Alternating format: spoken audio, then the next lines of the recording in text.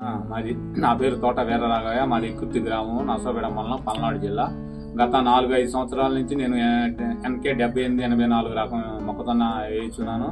ఇది వచ్చేసి ముందు కలపటం వల్ల పురుగు తట్టుకుంటుంది మహిళ పట్టదు.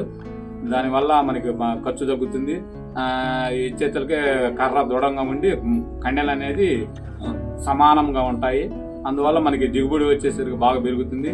నాకు గత నేను నాలుగైదు సంవత్సరాలు చేస్తుంటే నలభై ఐదు నుంచి యాభై క్వింటాల దిగుబడి నాకు వస్తుంది. వ్యాపారస్తులు కూడా కొనుగోలుదారులు బాగా లైక్ చేసి కొంటున్నారు అందువల్ల మనకి మాకు మంచి దిగుబడి వచ్చింది.